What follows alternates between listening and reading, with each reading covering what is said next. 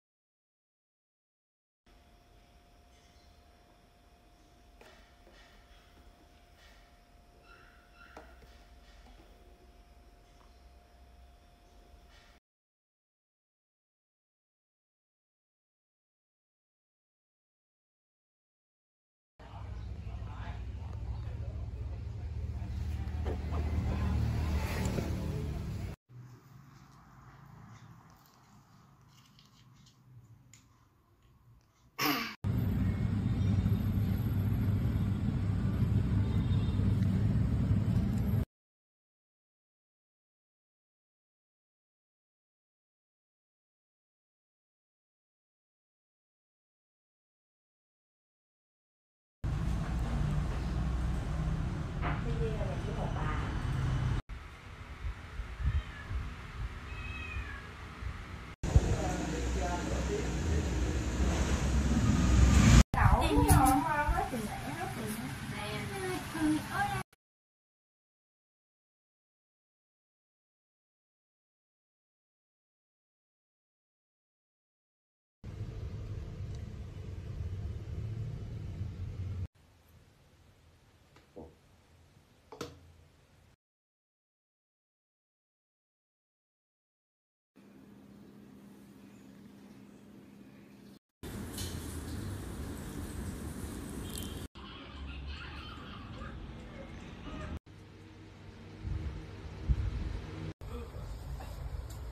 English.